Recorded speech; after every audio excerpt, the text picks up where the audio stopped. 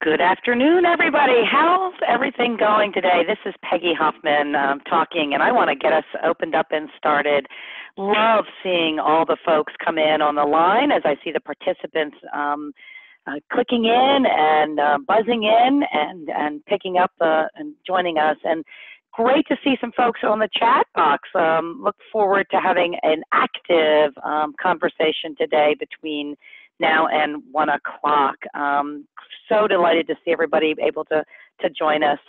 So today um, we are going to talk about taking a trickle, trickle up approach to member programs. So, you know, we know that as national organizations, we really want to give our chapters the tools and the programs that will allow them to meet members' needs. But yet, at the same time, we know that our chapters are amazingly different and diverse, right? So, the question is, is there another way besides simply coming up with a great idea here and launching it to the chapters? Well, we had some very cool conversations with three of your peers um, over the last, uh, I'd say, six to eight weeks. Um, we talked with um, NAIOP, the Commercial Real Estate Development Association, and I see that we've got some folks here from them. We talked to the Project Management Institute. I just got a chance to spend some time in Boston with a bunch of their volunteer leaders. That was fun. And the Education Theater Association to find out that there is another way. You don't always have to go national to local, you can actually trickle up. And that's what we want to talk about today um, in our conversation with you all.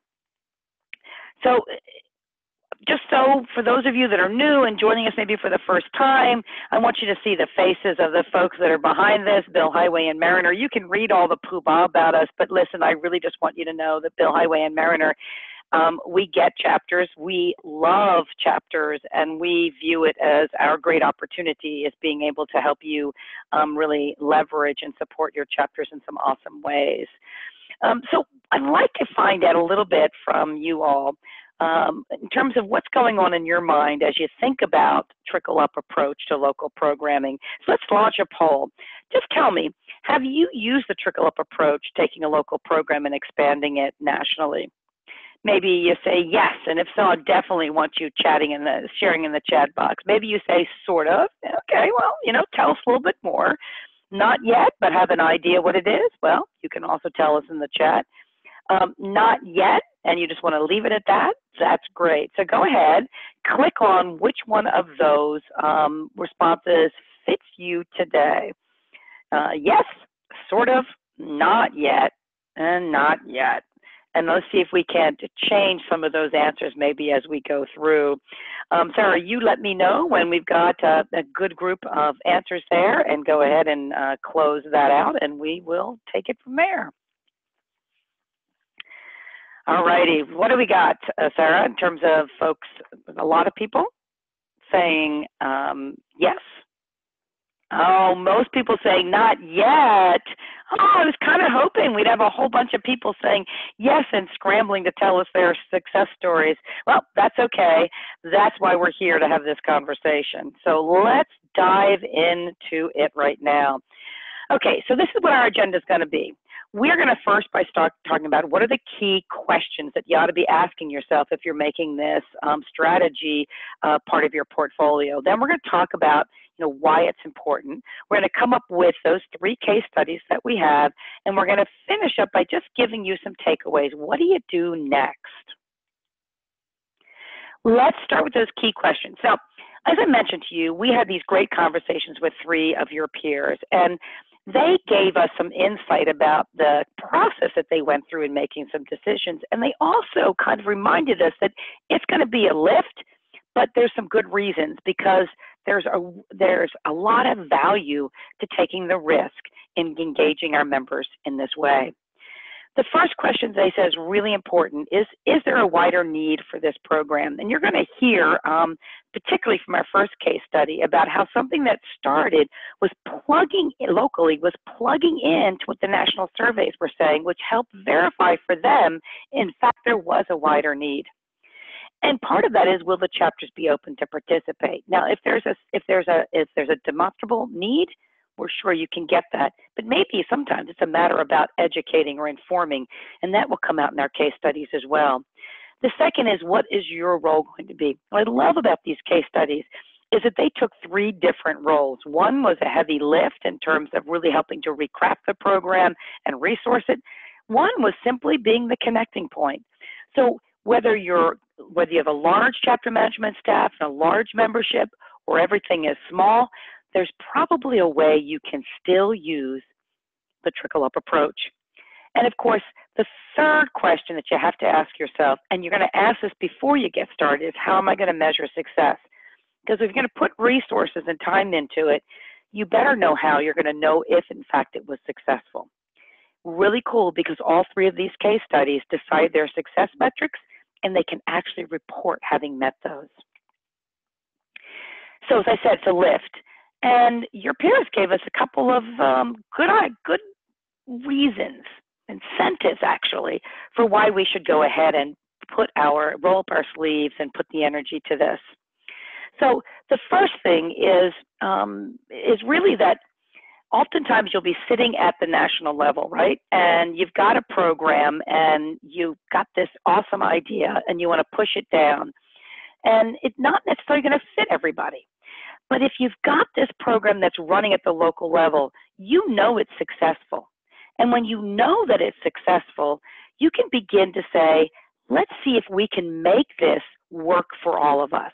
And that's where you get an opportunity to look at scaling the work at a local chapter across the system. It allows you to begin to, rather than taking this one size fits all and push it down, it allows you to take something and then work it through the system. Now, I love when we were talking, one of the folks said, you know, it's kind of a little bit like recipe scaling. Yes, you just don't double. You have to realize that every ingredient is a little bit different, as are your chapters. But when you take a program that has worked for one chapter, you're able to adapt it based on the, the idiosyncrasies, the differences in those chapters. Now, it does make sense for you to understand that while it won't automatically work for all those chapters, following a few steps will in fact allow you to take a program that you know has got capacity, you know has got the um, the ability to be successful, you're going to be able to take that program and, and bring it to other organizations. The first thing to do is to identify the program, which of course is the easy part, and then deciding if you're going to be the driver or the facilitator. So let's stop talking about the, uh, the theory and let's talk a little bit about the practice, how three associations actually went about making this work. Okay, I want to start with um, NAIOP, the Commercial Real Estate Development Association, and their mentoring program. No, wait a minute. I should not call it their mentoring program because that's part of the story here. You see, their Toronto chapter, which happens to be a bit unique, yes, their second largest chapter, they have a lot of members. Um, they're the ones that actually began it. Now, what you might want to know about that NAIOP, and let me give you a little bit of stats about the background. They've got 51 chapters. They've got about 19,000 members. Um, their chapters are independent, operating under an affiliation agreement. But the Toronto chapter, because they've got some very large ones like the Toronto and some very small ones, had some resources. And they actually, using um, a, um, a software platform, they created a mentoring model and it really helped them drive chapter engagement in this what could be a very large, almost daunting chapter. The software, in essence, to simply match the mentors and the mentees. Here's the interesting thing. They were so successful in Toronto that Courtney, who was then there, walked around and was telling all the other chapters about this and the other chapters got excited. Remember, we said you got to know is this important, and you got to know are the chapters going to be interested. Well, chapters were, and they're like, how do we do this? How can we replicate this? And that's where NAIOP had to come to question number two: What is going to be our role? I mean, what can we do in terms of translating this very successful program in Toronto to a nationally offered program? And they are an example of an organization that t- decided to take the big investment. What they decided to do was to take the Toronto program and be able to refashion it in a way that would work for their other chapters, whether they were large or small, regardless of the number of members, and make it available at no cost. They started by going to the Toronto chapter and saying, okay, let's have a one year licensing agreement and we'll be able to hire some software engineers and we'll put this together. So they paid for the software, they provided the templates, they provided all the to-dos and all the needs and for the mentors and the mentees. Then they did a really smart thing because you know, one of the questions that they asked is, what is the value of this? And the value of this really is about chapter engagement. So they created a national dashboard that helps them track um, what's going on at the individual chapters, be able to spotlight things where they might be able to smooth out, might be able to provide additional assistance, maybe they can tweak it. How can they make sure, how can they track their, their record, make sure that they were achieving success? Now, again, remember we said at the very beginning, you're going to have to recognize you just don't double something, right? the recipe just doesn't double up. You have to take a look at the what's needed at the local level. So they created this wonderful thing, and they they they created all the nuances for the large and the small. But then they went to the locals and they helped them customize the program for them. They helped them understand what is the the members in your area specifically need. Um, and how are you going to operate this in your area that's going to make it, well, successful and meet the needs? And they also, of course, made sure there's a post program survey. Okay, so then we get to the rollout. What I think is really interesting about the rollout here is that you've got a couple of, of, of, of important lessons that all of us need to know. The first is that when you put this together, realize that our volunteer leaders are very busy. Make sure you're offering training that makes a difference. And they do it in both ways. So they did hosted webinars, but they also did one-on-one with their chapter executives where they had chapter executives. So they did the, the you know, the one-to-many and the one-to-one. And of course, everything was recorded, so it also became was available on your time. They did. They went to local chapter board meetings, and their successes. They have 14 using it. So let's talk about their key takeaways because this is where you can take a program. If you're smaller, you might say, "Wow, I don't have that much money to put to this," or "I don't have a huge chapter that's that's creating a software-based program." So let's look at the key takeaways. How can I adapt this to my own organization? So the first message that NAIOP will give you, and you're going to hear this in the other case studies, is remember that this is a collaboration, okay? Remember to give credit where credit is due. And one of the really cool um, outgrowths of this is that the chapters see you as a partner and they're more willing to bring their projects to you. Secondly, you really have to know what your chapters want, and it begins by knowing what do the members want. So part of what made this whole thing come together was a survey that they had done with developing leaders, those under 35 years, who said we want mentoring and career advice. When they saw that a local chapter was doing this, was, was, was really acting on this survey finding, they went to all of the other chapters and they really found out how this would work more effectively. And one of their ahas in, in this, and this is the reason why you should go to the chapters before you try to scale it, but they found that a one year commitment was going to be way too much for many of the volunteers, and so they scaled it to a slightly smaller group, um, which of course offered the flexibility. The third key takeaway was communication. So communicate, communicate, and then communicate again. What I loved about their program when we were learning about it was how they had baked communication in on every stage. And that allowed them to really understand if the program wasn't working, how mm-hmm. they could how they could maybe help. It also allowed them to know where to help in a way that made it didn't mean they were taking it over, but they were actually coaching and mentoring their chapter leaders. It also helped them to understand that it's not going to fit for everybody. So maybe the whole program wouldn't fit for a chapter. Maybe there was elements of it. How could they help them still do, say, for example, mentoring, even if they weren't going to use the software-based mentoring? that communication loop meant the chapters, even those that weren't going to opt in, still felt the love and the commitment. So at the end of the day, there was a program that made a tremendous difference for, for their members and their chapter leaders.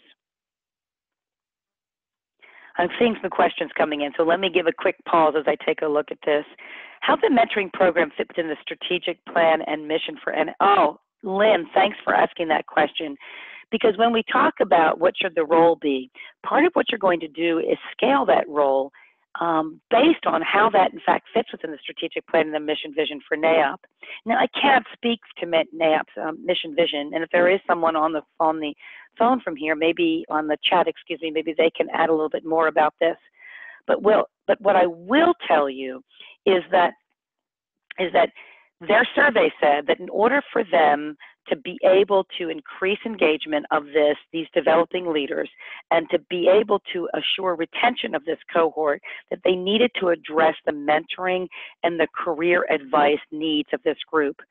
So from a perspective of meeting the members' needs where they are as being part of what drives NAIOP's decisions around its programming, it was a win-win. It made a complete connection there. Okay, let's see. You said that um, chapter leaders periodically have highlighted certain. Yes, excellent. Thank you, uh, Claire Aston from the Association for Corporate Growth, saying that we've seen chapters adapt programs that have certain chapter initiatives, and that is really a cool way of of of creating that scalability. Right, put an initiative out there, and then ask folks who wants to do it. Let them opt in. Um, Aaron, you're asking about the time frame from Toronto's, Toronto's, excuse me, establishing the program, the adoption of the 14 chapters. You know, I am not certain about that, so I'm going to have to see if we can get somebody from NAIOP to give you that answer. But that certainly is a very important question in terms of what was the length of time here. So let's see if we can't go ahead and get that for you.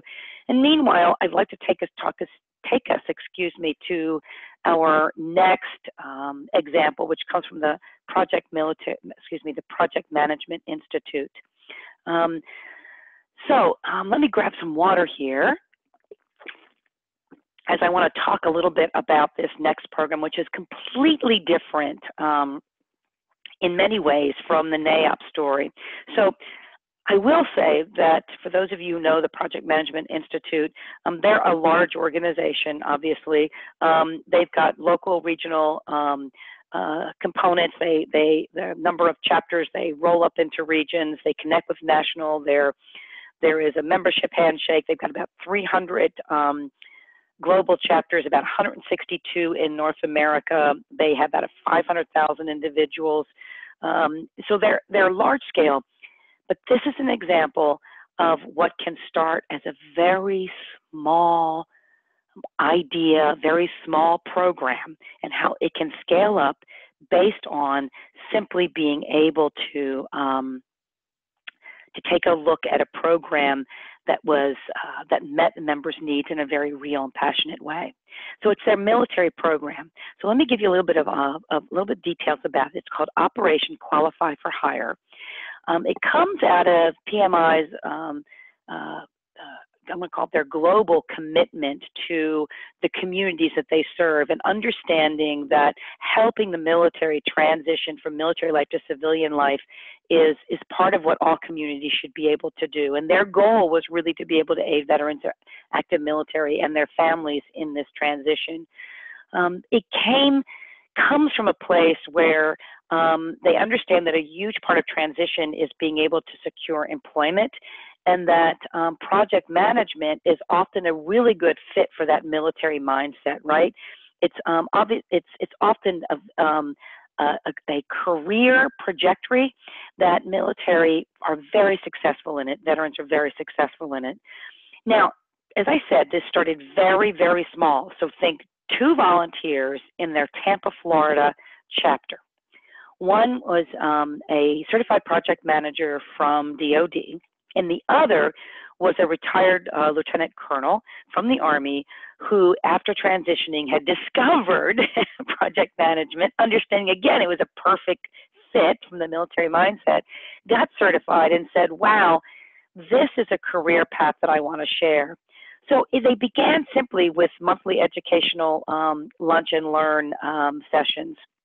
And um, it was just really small, informal. They were held on um, one of the uh, Air Force bases, and they were conversations that helped folks take a look at project management and then prepare for the certification.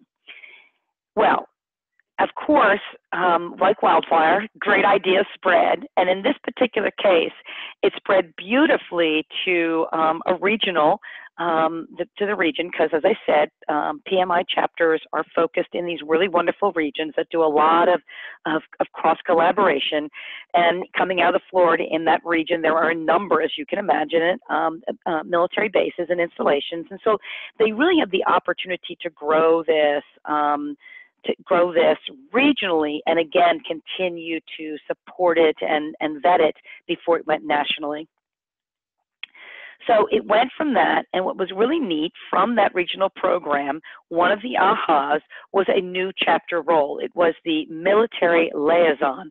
So this is um, typically for members who are either currently in or formerly in the military. This is really great because you see how this program not only was meeting the needs of this community give back, meeting the needs of an emerging membership um, cohort, right? But it was also developing a really cool volunteer position. Now, understand, remember we said started with two volunteers. When you see a volunteer doing something, and it's making a difference and they get passionate about it and you can act on that by creating a volunteer role that can be replicated that's kind of like um, i don't know an inside win if you will um, they naturally realized that because this program had the capacity to be both the give back, right, but also a membership growth perspective and a certification growth perspective, they naturally looked at social media and developed a LinkedIn group that other chapters could join, folks could join, and they could begin to share the successes and build the buzz around this very important program. As they did all of this, of course, they naturally began to create the military cookbook, right? It includes all the materials, it includes stories, it includes um, tools and, and, and recommendations and ideas. And of course, putting all that together now between the Facebook, excuse me, the LinkedIn group, the handbook, this um, new role, they were able to take it nationally. Now, the cool thing is, it's still really a locally um, implemented, locally nurtured program, but it has become um, a real uh, rallying point for PMI. So I love look at the results because they've got numbers that are pretty darn impressive. So they rolled it out to um, it was about um, um, 140 or so chapters, 51% of whom are participating. 10,000 service members, um, veterans, and active military have been touched by this. Um, 60% um, have, have, become members, 40% are certificate holders. And it's all because they started, they've created the handbook, they have the webinars, they have the communications, and they have sharing. Pretty impressive results when you begin to look at how a program started by two volunteers could be scaled to have that great of an outreach. So what are their key takeaways? And again, what I love about um, talking to folks is this whole idea of beginning to hear the themes that help us take any of these ideas and adapt them to their own. So they refer to it as being inclusive. Same kind of idea as um, as NAIOPS, you know, make it a collaboration or a partnership, right?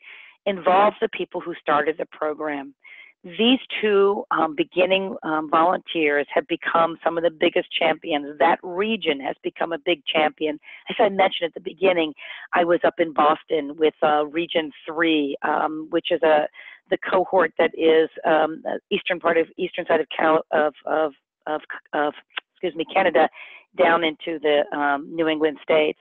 They were talking about this so this being inclusive and keeping the people involved and engaged really allows you to develop this champion and allows you also to um, have people begin to feel that ownership and recognizing the leaders. Um, I think that the really cool thing when I was there in Boston, you know, I got to I got to see this firsthand.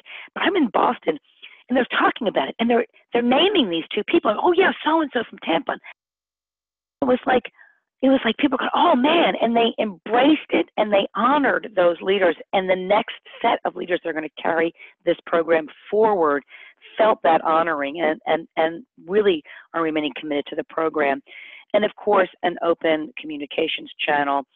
Um, lots of conversation around this, lots of sharing. It was really neat. Um, they did use the chapter rollouts as informal focus groups um, that allowed them to sort of tweak some things. So um, I know one of the things that they talked about was going out to a, a, number of them first, who they knew that they could begin to work through some of the, you know, the, the bumps, if you will. So a great um, takeaway there is to let those early adopters um, really be part of helping um, co-create the program as it moves forward. Um, I worked with, I don't know how many of you know Maddie Grant. Uh, I'll never forget something that she said to me years ago when she was talking about a program that she described it as um, forever beta. And I think that one of the neat things about the NAIOP program and the PMI story really um, get to that idea of allowing the program to be tweaked and enhanced and, and to grow over time when you get that local ownership, and that's a real example here with PMI, when you get that local ownership, you're able to do that continuous um, improvement. Let's see if we've got some other questions. Uh, Jill says, we invite these people to present at our chapter leader training workshop. Great. So Jill, what you're saying is when you have, um, when you have folks involved and engaged, you bring them to the chapter leader program so they can promulgate their own successes and to share and then to be sort of the peer-to-peer mentoring. Love that idea, Jill. That's a great way of taking folks that are that are um, really um, connected to let them plug in again.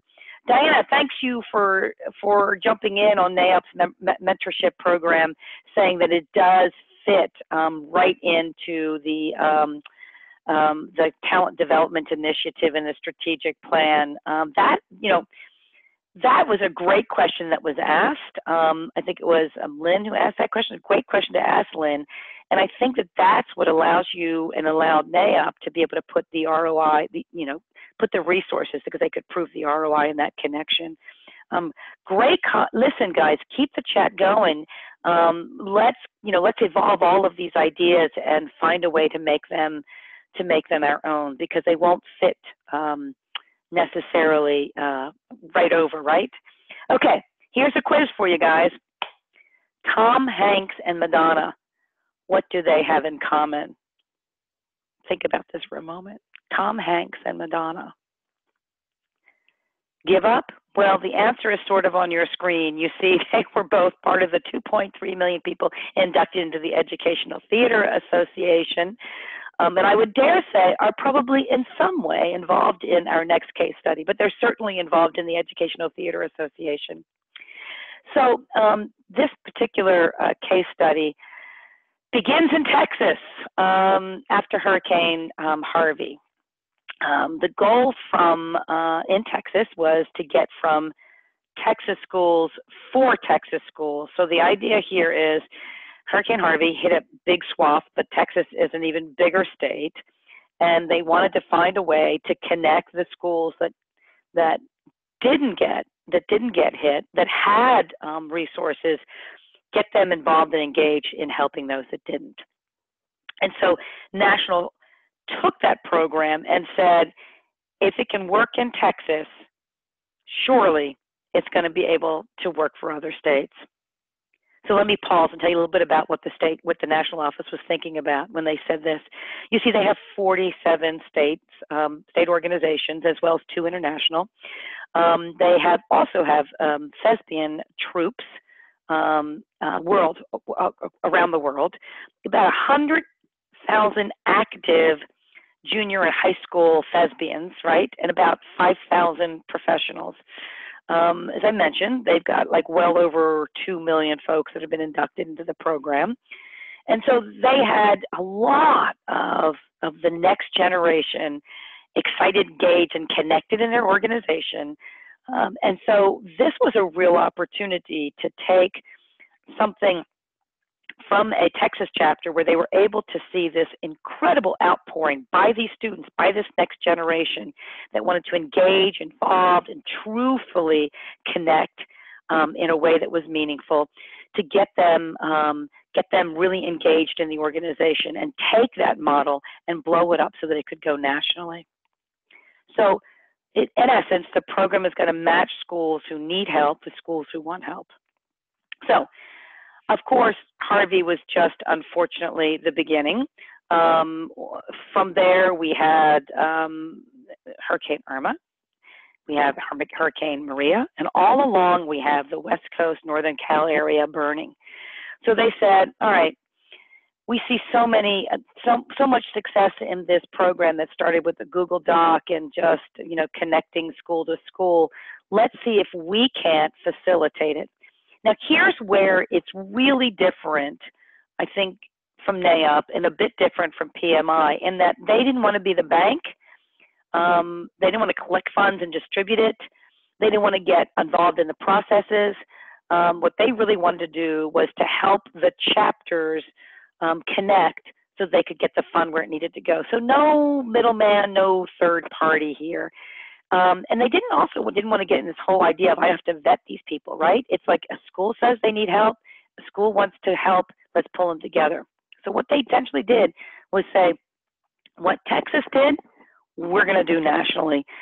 Now, when I say they're going to do it nationally, they scaled it and expanded it. It still is a local program. What's cool about this is that there'll always be a need, and by using the Higher Logic platform, they were able to just put the right technology, overlay it on the need to make it work. Um, they of course use social, message, uh, social media hashtag Thespians Helping Thespians. Um, what's really neat, and this is the this is the point. If I could highlight this and circle it, I would. Um, there's no management here, right? Um, when you have an online community uh, and it's there, and you're managing that 24 by 7, you're putting this on the website and you're allowing it to live, to be tapped when it needs to be tapped there's no they they're not doing the banking they're not doing the vetting. They're simply saying we can bring, we can be the core, we can be the, the place where um, all the connections are made, then you guys go and make it happen. The inside win on this is they now have created a really cool driver to get them to that community where people can see all the other things that are happening, right? So the inside win for this is you are taking a platform that is a portal to all the things you offer, you're making it a go-to place. Really, really cool. So let's talk about the results.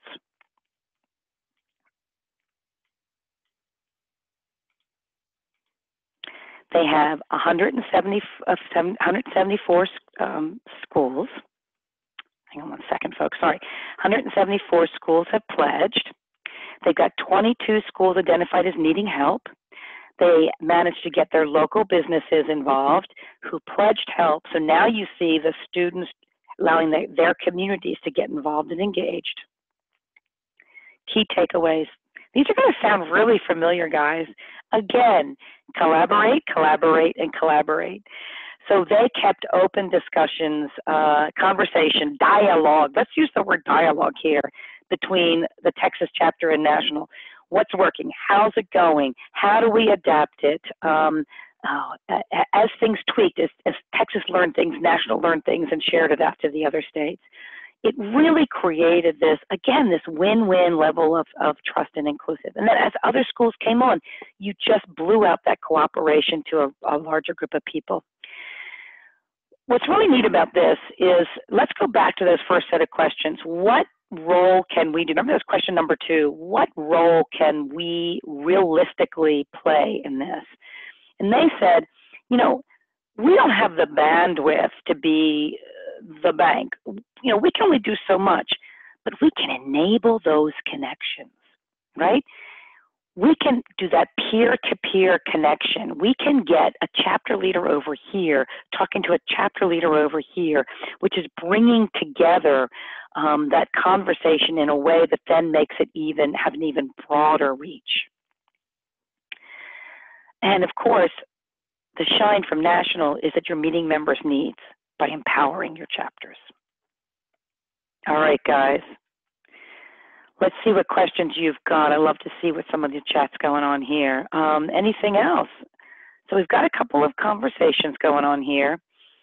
Um, Yes, taking the community service focus as a local initiative. Um, now, one person has said, mentions, this is Becky, she was saying, eh, they started as a local initiative, but they had lukewarm participation and acceptance. I mean, I think how many times are we going to run into that kind of stuff? I think, I think that is probably um, the secret sauce in all three of these was finding something that um, was was addressing a pain point or a really critical need. So if you look at if you look at the um, NAIOP, so everybody wants to figure out how to get the next gen involved, um, and they had really good um, uh, research saying that this is what folks wanted, and they had a turnkey solution that they could provide. Now remember, they have 14 chapters out of 51 that are doing it, and the launch in Charlotte, North Carolina is pretty fresh. Um, but the excitement around it has been an indicator that it will probably go places. But understand the pain point is how do we connect with this next generation? When you look at PMI, um, in those territories, in those areas where there is um, a connection to military, this was a this was a true commitment to giving back, and a real sense of how is this going to make a difference at the local level. And then when you look at this last one, I mean, there was so much of galvanizing. This is a major disaster, we have to help each other. So maybe if it hasn't worked for you yet, it's about going back to the board and saying, okay, let's see if there is a pain point that we can really latch onto. And again, not every chapter is going to do this, but when you engage all the chapters in the conversation, if they choose not to opt in, they still hear your message that they're important, that you want to be part of, of being a help and support for them, and that when a chapter has something that's working, you believe and you trust in them. So sometimes, even if it doesn't get every, every the full traction you want, maybe the win-win is building a stronger collaborative mindset in your chapters. Um, and you know what I love about this? Um, oh yes, Lynn. Thank you. I'm just saying, Lynn. I'm I'm I'm a little bit AD, ADHD, and I love to. I start something and then I look and go, whoops, squirrel. Um, I know, um, Lynn. Isn't that so true? A way to support the schools without committing national. You know, it, that's that's and, and, and what, what really tugged at my heart, Lynn, just to get a little bit further, is that they engage students who are clearly going to be members and engaged in this organization, but you know how we always lose that student connection at some point? So it's really cool that those kids are remembered and their parents were remembered. I mean, I just thought it was a, you know, an inside win. So um, anyway, you know what? Um, I wanted to mention this is that before we go into turn ideas into actions, so we happen to have um, an organization reach out to us, and I'm going to forgive me. I believe it was uh, NAIOP in conversation with the NAIOP. We heard about this program.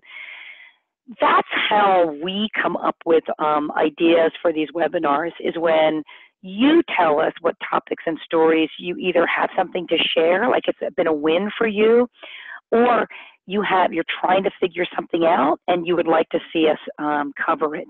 So the the conversation around speakers um, directories, oh my gosh, that came from you all. Um, this idea of having something that's a real win and let's share it broader to the community. There's another example. So while we're finishing up here, I don't want to miss the opportunity to ask you in the chat box to tell us, is there topics or stories you'd like to hear more about? Um, the other thing is, I've seen a couple of questions, um, more specific questions for some of these folks. Uh, any questions that we can't answer, we'll see if we can't get out to our contacts who were so generous in their time in talking to us so we can get some clarity. So stay tuned. If we can't answer your question, um, as I said, we'll go ahead and, and, um, and get some answers for you. All right. So, you know, part of us always asking someone when they tell us a story the key takeaways is because at the end of the day, you can give us your, let me see, how are we? We're going to give us, you're going to give us about your hour today, right? Um, if you can't take this and act on it, um, is the hour worth it? And so part of what we always do with our folks is figure out what are the, how do I turn the ideas into actions? And we take those key takeaways and we take the stories and we figure that out. So if you want to start this, one of the coolest things to do is to brainstorm with your chapters.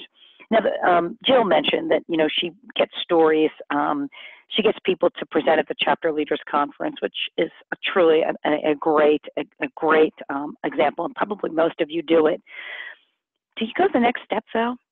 So after someone has done a presentation, do you do maybe a quick, um, hey, let's go to the chapter hive, you know, a little networking area. Anybody who's interested in this, let's have a deeper conversation about what it might mean to take this take this broader.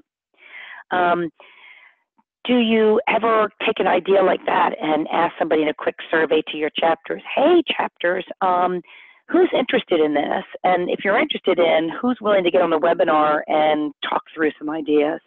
So when you have a great idea, how can you take it the next step, step by simply asking folks to um, brainstorm around it? Maybe it'll go nowhere, but it'll certainly be a good conversation. Uh, I love it. Jill's already doing that. This is what I love um, is that uh, is that we we all have different ways of doing it. The way she's doing it is table topics, so they can talk further about what they've learned. I love that idea. Thanks, thanks, thanks, thanks. Um, so the second one is um, pick a program and showcase it at the national level. So that's exactly what NAIOP did, and that's what Jill does at her at her particular workshops and then ask for the feedback, gauge interest from the chapters. So um, whether you're taking an existing program, or, excuse me, an existing story and asking it, or going a little bit more broadly. Then, when you have found something, um, thanks to the question that we got, I think it was from Beth about this connection, take a look at your strategic plan, take a look at um, your program plan for the year, and ask yourselves, is, does this fit in somewhere? And if it does, does it fit in in a way that we should be driver or we should be facilitator? Um, or and, and maybe in answering that question, you say, uh, if we're driver, it's more likely to get the resources it needs to be successful. Or, you know, this is a low resource thing, for example the wonderful thing about the disaster relief, we, we only need to be a facilitator. So have that question around, you know, what's going to make this this successful, and how does this really connect into our organization, our plan, our program of work, our priorities, and then roll it out. Now, what I loved about in all in two of the three cases, uh, really the the PMI and the and the and the NAIOP, they did um, they didn't call them this, but they did in essence what I would call a soft rollout. So it, and they they live by that as I mentioned earlier that forever beta. So they rolled it out in a way that allowed them to learn from the process and to get some testing into it and to find out is this really going to work. Um, there's you don't have to go from Texas nationwide, right? You can do like they did at PMI, Florida, region, larger region, a little bit across the country. Um, or as NAIOP did, looking at those chapters that had a high interest and, and, a, and, a, and, and were really had a commitment to it and working through the process with them. And they've got one chapter launching at this point so they can really learn from it. So there are lots of, of, of ideas out there, lots of ways that you could that you could turn these ideas into actions. I'd love to see your questions. What's going to keep you from doing this? What's going to allow you to do this? Um, so let's have a little bit of a conversation right now with your questions. So I got, I got Claire saying, what are some ways people showcase their local programs? She asks, because we have a periodic conference calls on best practice and there's a low turnout um, Claire, you are suffering from what all of us are suffering from is that our chapter leaders say, I totally want to hear more, and then they have day jobs and they can't come to those calls. So I'm sure some of you have some really great ideas. How are you getting people to showcase local programs? Um, besides this idea of a conference call people might, might not be able to come on to, beside um, you know showcasing it at your national leadership conference, are there other ways that you are helping folks um, showcase local programs? Um, while people are madly typing in, I'm going to assume that they are madly typing in, I can share two things that I've heard. um, at a national conference for one organization. They have, um, you know, how you have a poster session for students. Well, they have a poster session for chapters, and um, the chapters put on display in an area, something that they're really proud of, um, and they're asked to give out. Um, um, you know, samples or whatever, and it's in a room for chapter leaders or or people engaged with the chapters. So it's at the national conference. So it's just taking the conversation and planting it where there might be other members there. So um, certainly that's one that I've heard about. And then um, another uh, one that I've heard at, and I just saw Jill um, jump in, and quite frankly, this is very similar to Jill. She just says they have a best practices document exchange online. Um, and I, and, and in following up on that, one of the things that another organization does, uh, they have a chapter leader e-letter, and they highlight a chapter success in that e-letter and they always give the contact information to talk to the chapter uh, uh, more closely if they want to. So I think that's another way of doing it, putting it at just having that um, that that best practices document exchange online is really nice. Um, so I um, Kylie is sharing that they have a program that incentivizes best practice sharing by submitting chapters are eligible for national recognition and financial rewards. Totally love the carrot approach. People are more than interesting to more than interested, excuse me, in um, sharing when they when they frankly when they when they know that uh, there's something at the other end. So I'd be interested, Kylie. Maybe you can chat a little bit more about that um, in terms of, you know, um, when you've done that, um, do you get a lot of chapters um, submitting? And have any of those programs, have you taken them nationally? um, Sarah, great idea. We've taken chapter programs um, that target two underserved member groups and rolled out how-to um, toolboxes for other chapters. You know, the how-to toolboxes is one of the easiest ways to do it. Um, I, you know, I manage three chapters here at Mariner um, Public Relations Society of, Amer- of, America's Maryland chapter, the Appraisal Institute's DC Metro chapter, and the Maryland Recycling Network. And one of the coolest things that we get from two of those nationals, occasionally more from PRSA perhaps than the others, but we'll get a um, you know, we'll get a you know a a, program in a, a program in a box. We'll get a here's a social media um, um, campaign around X in a box um, t- really giving us tools and helping us show how to take something and implement in our own area is great. And I like what you've done, Sarah, when you say that you've taken that energy, because it takes time to put those together, and you've targeted on some underserved areas, which means you're really helping open up the minds of your chapter leaders to think about some programs outside maybe their their um, their comfort zone. So that's really cool. And Jessica mentions they have a chapter success story series. I love that. Oh, wait a minute, Jessica also says they share stories with the national board. You know, that is a great way. I mean, give that shout out at a national level is another way of creating that that trust and that partnership with your chapter organizations. Very cool. Keep you know keep giving us some ideas because I think that that's if you get the right um, you get you get the right program the right idea. Uh, there's just so many inside wins in all of these programs. I mean, you know, NAIOP won by um, one by being able to reach an audience with a very specific um, response to something they asked for. Um, they're able to, they're going to be able to track and see increased engagement and retention in that group. That's that's that's a win. Um, you know, the um, Educational Theater Association was able to engage a generation that they might lose once they graduate, but they're going to have that indelible stamp in them. So so that's a win. And what I really loved is um, is uh, that that PMI has found a way to elevate PMI. Um, as well as a really cool way of creating a meaningful volunteer role in a time when we're looking for finding meaningful roles for volunteers, but they're going to get that passion and that and that real satisfaction too. So lots of really cool um, inside wins for these things. Um, mentions that they had 20 to 50 best practices submits each year. Oh, Kylie, we want to see that list. We somehow have a feeling it's a gold mine that we here could, could maybe really find some triggers. Um, you know, Sarah, let's go ahead and just get a sense from the group here. We've had some good conversation, although I will admit I'm doing all the talking.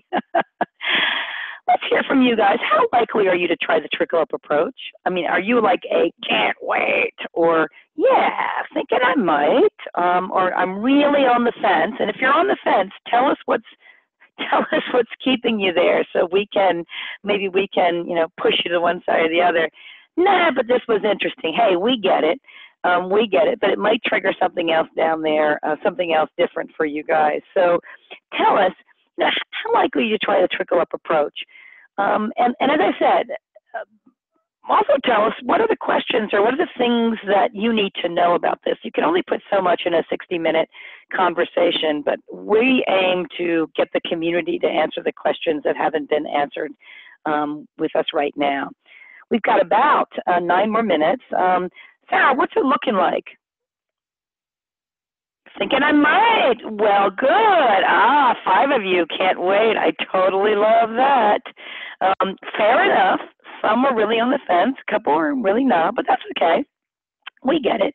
Um, I think the really cool thing here is is that um, um, maybe we've just reinforced some really cool concepts about engaging chapter leaders in things that drive them to help the national uh, really be um, create more value for its members. So um, yeah, I love Lindsay. Thanks for jumping in there with a trickle out approach to become conduit to share practices with chapters. I think maybe that should be the next one, huh? A trickle trickle out approach. Um, uh, so Rachel is asking, what is the incentive to participate? And I'm assuming um, that you mean the incentive to participate in any of these particular programs. Um, and I think that one of the incentives that we heard was the um, you know the option for a national award or fundraising or funds for these things. I think that the incentive for um, certainly for in the NAIOP world is you're getting a pretty robust mentoring program and the training to boot. So the incentive is you get a chance to launch a new program in your chapter um, without having to do the heavy lift of the, of the design and build part for that. But if other folks see that there's incentives to participate, please um, go ahead and uh, share those now. Um, and we've still got the lines open, so keep um, you know keep putting in your questions. And while you do, I want to just do a couple of quick reminders for you. CEX is coming your way um, October 26th. We are going to um, be in um, Virginia once again for the full day program. Um, I am super excited to let you know that um, we have confirmed two of our TED Talk folks. One who is a current CEO who came through the CRP and going to share how does one go from CRP to CEO? Very exciting. And another one is going to be on uh, being a change management. It's really cool. Um, we've also got, um, we're nailing down some of our, um, our tech tool um, speakers. And so we've got lots of things happening. Um, I it's just it's it's a real opportunity for the community to come together. Remember, our program is crowdsourced. Go to www.leveragechapters.com. We got a survey up there for you to tell us about your tech tools and your questions, so that we can make sure the content is yours. We and when you look up there, you'll see that we've got we've listed we've listed buckets we're filling in the specifics based on what you tell us you want. So this is not an approach where we bring to you the list of programs. This is where you tell us what you want, and uh, we work really darn hard to make it happen. Um, just so you know, if you if um, if you're around in the Chicago area roundtable coming up on the 11th of July, uh, chapter roundtables in D.C., Alexandria, and Reston the following week, the 17th, 18th, and 19th. By the way, great lunches at all of those. Okay, here's my own personal um, um, push for you. If you're coming to ASAE annual, how many are coming to ASAE annual? Say me too, me too, me too. Um, ASAE annual, we got accepted. We, meaning the lovely um, uh, uh, Lindsay Curry from RAPS and Christina Hartle from Inns of the Court um, Charlotte from Billhighway, and Peggy uh, got accepted. We're so excited for a um, deep dive session, an hour and a half session, a component hackathon, retrofit for the 21st century. So this is the way it's going to work. It is going to be. I got I got just a few more moments. I get to tell you about this. Okay. It is going to be a session and it's for you guys, but it's a hackathon, meaning no, we're not going to sit around and just do some brainstorming or sit around and just say this is a problem, let's give a bunch of solutions.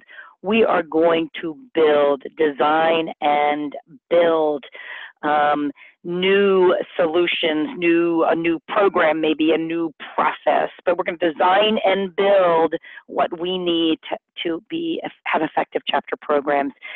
So here's the deal. Um, we're going to work on three, three of these, and the way we're going to pick the three is based on how you guys vote. So on allourideas.org, Component Hackathon 2018.